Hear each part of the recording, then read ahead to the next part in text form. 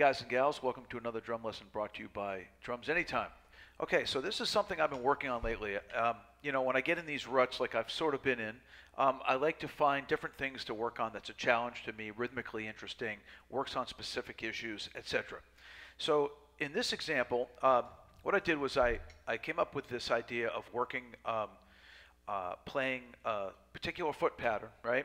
And then um, a left hand pattern, which I normally play on the right hand, and then different variations on the on the right hand. So anyway, that sounds confusing. So basically what I'm doing is I'm taking this pattern with my feet, right? And I'm playing a 2-3 son clave on the left foot, a bombo bass drum on the right foot. Don't don't turn off the video yet as you get bored with this explanation. Um, but anyway, so it's uh, it's just this. Okay. So one, three, one, two, three, four, one, two, three, four, one, two, three, four. By the way, if, if, for what it's worth, the reason this is called a 2-3 son clave is because you're playing two beats in the first measure, one, two, three, and then the second measure, one and two and three and four. And it's called a son clave because that fourth beat, um, it's on the four and not on the end of the four. It would be uh, a rumba clave um, if it was. So I don't want to get too, too, too into details, but uh, so uh, son clave one two three four one two three four one two three four one two three four versus one two three four one two three four one two three four one two three four. But this isn't a Latin lesson. This is just some independence thing that I'm working on. So with the feet, it's like this: one two three four one two three, like you see on the screen. Okay. Now, normally I would play a cascara pattern on the right uh, hand, normally on the bell like this. Okay? Right? If you've listened to any Latin music before, you've heard that pattern. But in this case, I wanted to um, challenge myself a little more, and I wanted to build my left hand and independence. So I want to play that pattern on my left hand, and I'm playing it on the snare drum for starters. Okay, so that'd be like this.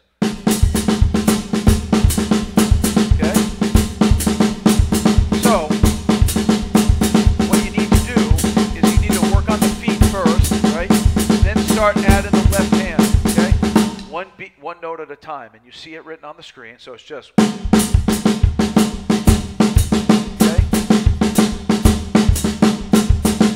Right? Okay? And then what you want to do is start adding the right hand.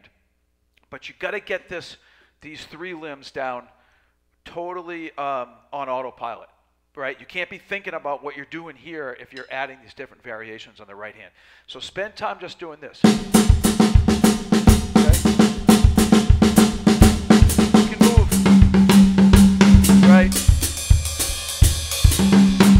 Surface doesn't matter.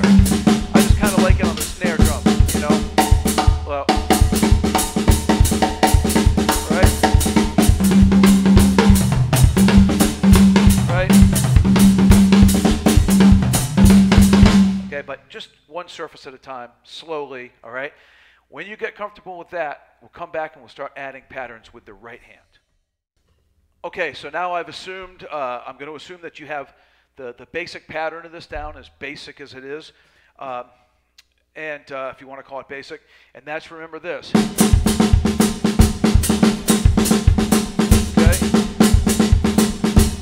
But the ultimate goal is to be able to read rhythmic patterns with the right hand against this. But we have to, you know, crawl before we can walk and walk before we can run. So the first thing I want you to work on is just some patterns with the right hand. And we'll keep them simple at first, and then we'll get them a little more complicated. So the first thing you want to be able to do is just play downbeats, like the downbeat of each measure, of beat one of each measure. So that'd be something like this. Uh, that's no, I, was playing one and three. It's like this.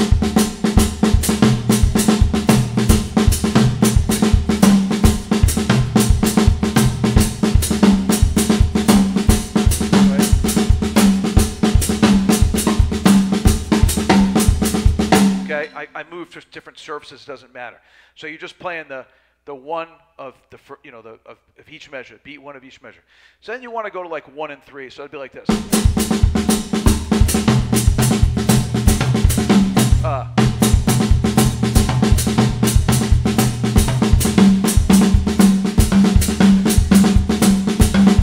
okay? And then you would probably go to like two and then two and four of each measure. But that's what you want to do. You want to break it down into simple chunks until eventually you can play like all the quarter notes. Like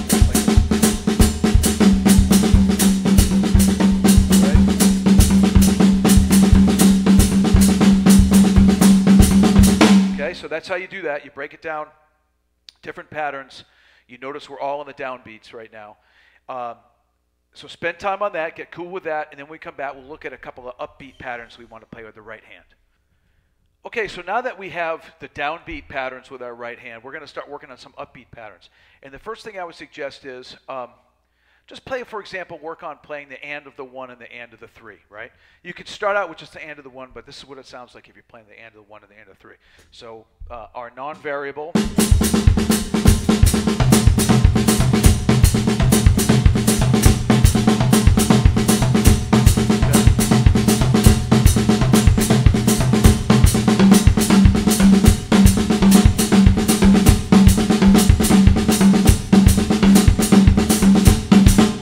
So that was playing the and of the one and the and of the three. Um, and then once you become comfortable with that, just start with some different two note combos.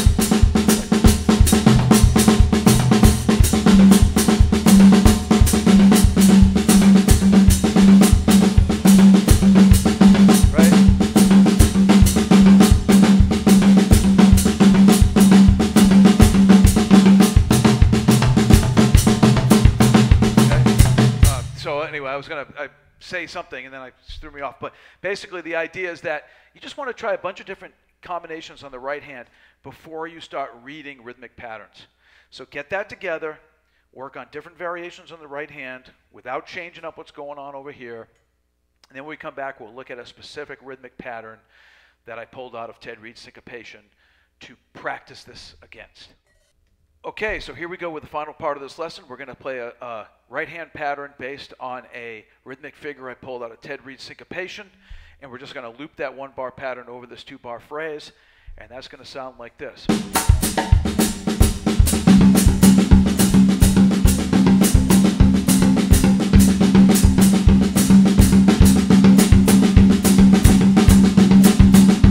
Okay, so the idea is that I'm, I'm just obviously playing the right hand pattern on the uh, on the um, rack tom and then the the Koskar on the left hand.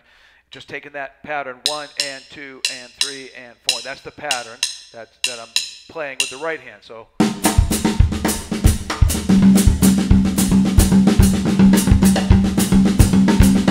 Let's do it